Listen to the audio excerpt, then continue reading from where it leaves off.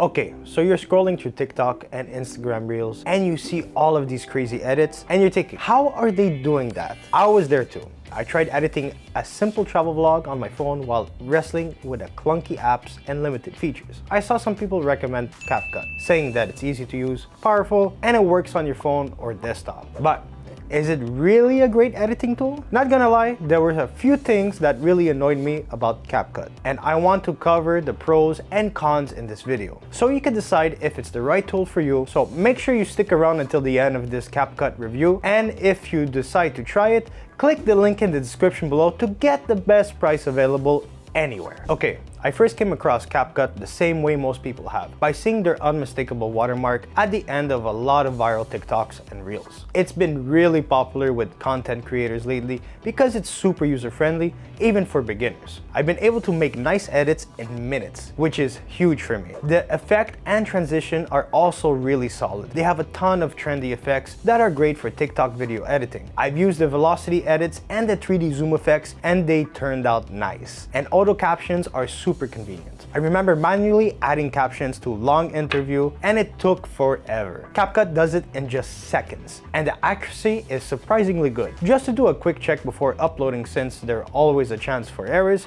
with automated features. The audio editing is also good. You could add music, sound effects, even extract audios from videos. I've used this feature to add some trendy sounds to my reels which can make a huge difference in engagement. The text and stickers are also very customizable. You can add animated text and even create custom stickers. CapCut is really a full-fledged video editing tool right in your pocket or on your desktop. If you prefer working on PC, it's kind of an app that makes you wonder how it's free. Well, free for the most part, because CapCut works on freemium model, meaning this video editor is free to use but only to a certain extent. CapCut's free version gives you 150 credits per week, which allows you to generate around 2 minutes of videos and 75 images. If you need more than that, CapCut Pro gives you 21,600 credits per year. That's equivalent to creating 360 minutes of videos and 10,800 images. Plus, you get access to all the CapCut features. To me, the paid version is definitely worth it. However, there are some cons to it. For starters, the CapCut video editor can be a bit resource intensive,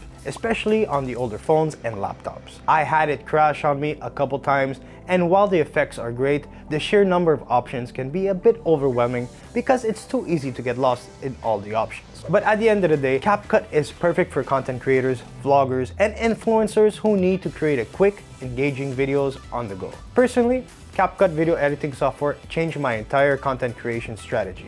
So try it out at the best price available by clicking the link in the description of this CapCut review.